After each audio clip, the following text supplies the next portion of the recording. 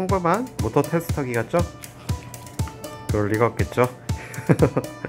mad scientist는 그냥 놔두지 않습니다. 아, 원래 9V 배터리를 사용하는데 리튬 이온 배터리 붙이고 좀 승압 모듈을 해서 충전 모듈까지 붙였습니다.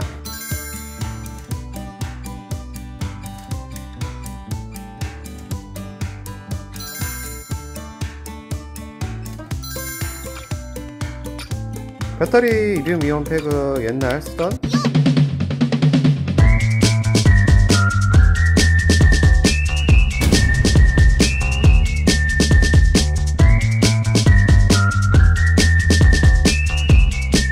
수장된 액션캠에서 척출한 겁니다. 방수하는데 잊지 마세요. 뻥입니다. 그죠? 로드런 높이와 테스터기 충전을 해보겠습니다.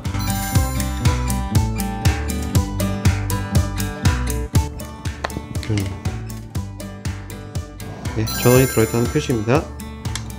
자, 예, 이대로 충전해 놓겠습니다. 그래서 이따 오후에 사용을 하거든요. 안녕하세요 이온입니다.